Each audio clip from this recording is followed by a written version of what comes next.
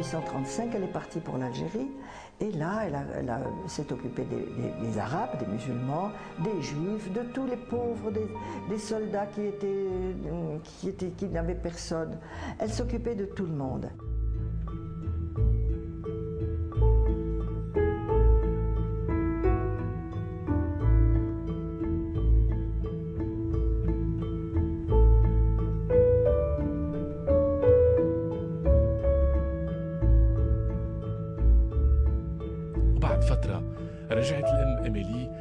فرنسا وقابلت سيادة المطران دوغوالي مطران مدينة ألبي وطلبت منه يثبت قوانين الرهبنة الجديدة.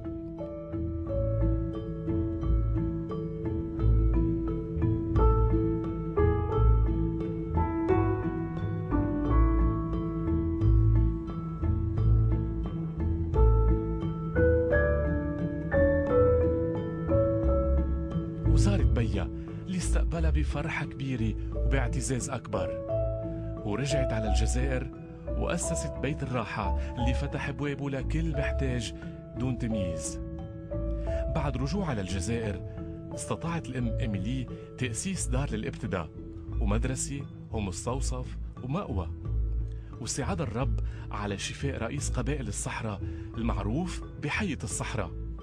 ولما داقت الدواء قبل ما قدمت له لهالمريض تيطمن صرخ وقال له من إيدك الناس بيقبلوا كل شيء بثقة تامة. وصار اسم راهبات مار يوسف الظهور يختصر أعمال الرحمة بكل أنحاء الجزائر.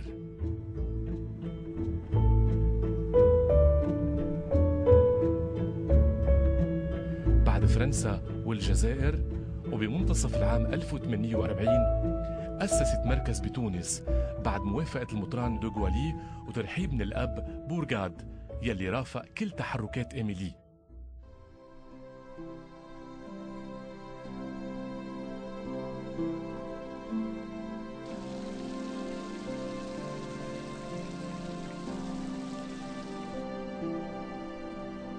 سنة 1842 سافرت على روما.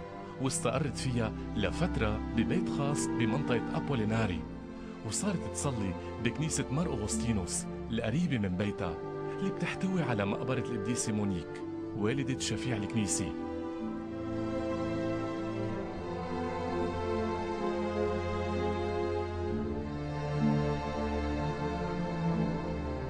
سنة 1846 أسست بيت تاني للجمعية بشارع مونسيراتو.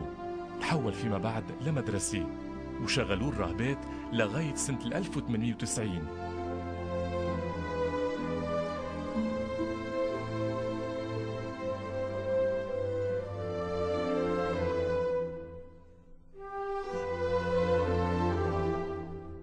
كانت تتردد على كنيسة مار لويس للفرنسيين وتصلي مع رفقات الراهبات اللي دفن عدد منهم داخل هالكنيسة.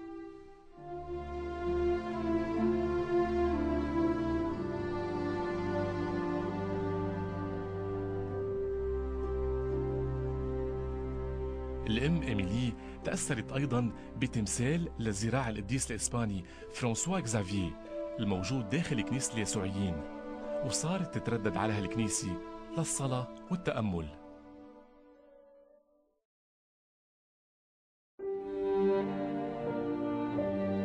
بعد موت إيميلي أسست الجمعية سنة 1890 بيت ثالث بشارع مارغانا.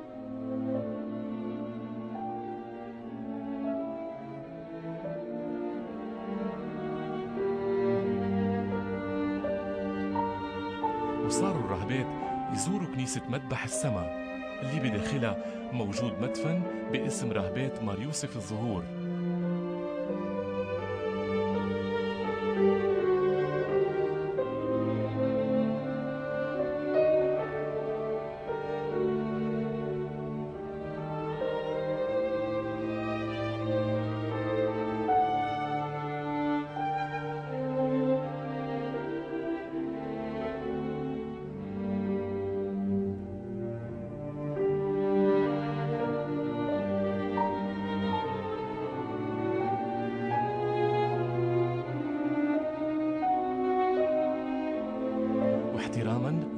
روما اختارت جمعية الرهبات مركزها الأساسي مقر الرئاسة العامة بروما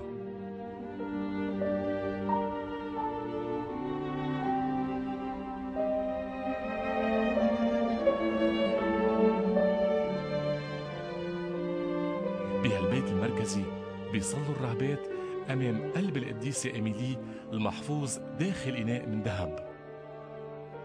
وأمام جمجمتها المحفوظة داخل ستار زجاجي.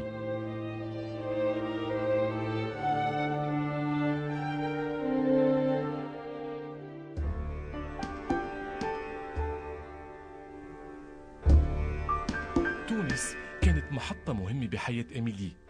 ولما زارتها سنة 1845 انتقلت منها بالبحر للجزائر. ولكن قبل ما توصل هبت ريح قوية. وحولت اتجاه المركب لجزيرة مالطا. وكانت هالجزيرة هدف من أهداف إيميلي وناطرة الظرف المناسب. وهالصدفة الصعبة صارت صدفة خير. واستطاعت إيميلي بمدة 11 شهر تأسيس مستشفى ومدرسة ودير من أهم أديار المؤسسة بالعالم.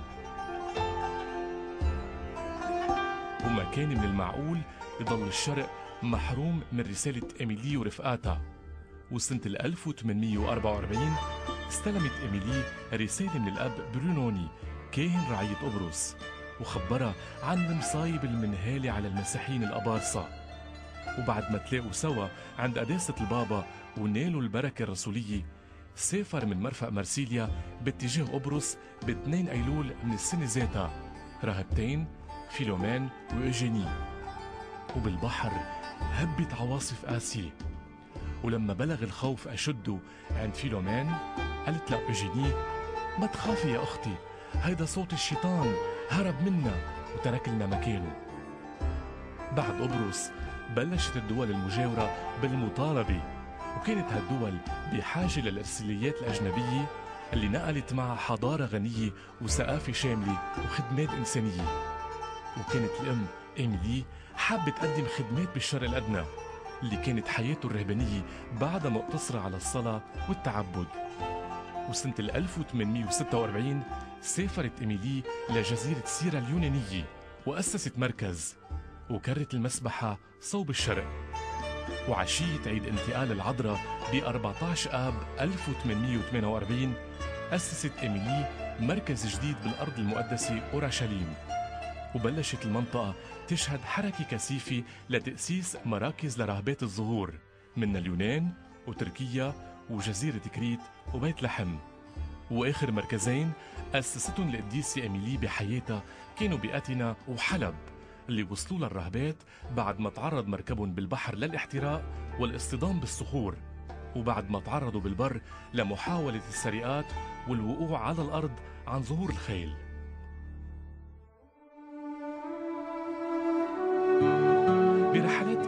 المتعددة على باريس لزيارة جدة كانت تصلي بكنيسة الإرساليات الأجنبية.